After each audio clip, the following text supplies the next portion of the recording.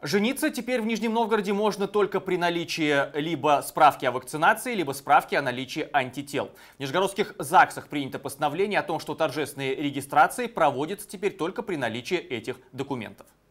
При наличии у присутствующих на церемонии государственной регистрации заключения брака в торжественной обстановке э, документов, таких как э, сертификат на прививку от COVID-19, ПЦР-тест, а, тест э, на антитела положительный, соответственно, а, и для несовершеннолетних лиц тоже результат экспресс-теста на антитела, который срок действия тоже до трех дней.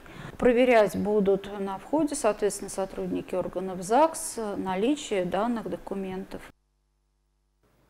Кстати, в ЗАГСе подчеркивают, что запрещен, а, запрещена только торжественная регистрация для лиц, не имеющих прививки или же антител. Обычно расписаться в обычном порядке можно каждому независимо от наличия антител.